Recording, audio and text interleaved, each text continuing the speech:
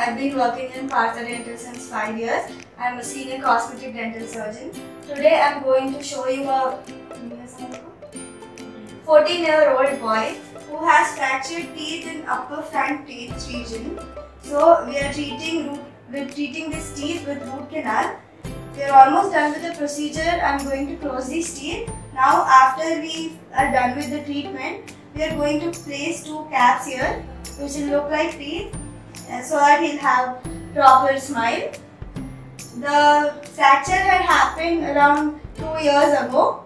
Two years ago and um, yeah, the fracture was till middle thirds of the tooth. So after the treatment, we are filling it with uh, filling material called gutta-percha. This is a completely safe material. So many people have doubts about what kind of a material will be used to close the tooth after a root canal treatment. Is it safe? Is it going to cause any harm? But then there is no such kind of harm. This is a completely natural substance. This is extracted from a seaweed. So it is completely safe. Uh-huh.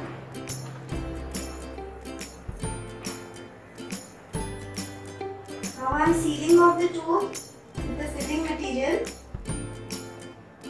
that there is no available space for bacteria to infest.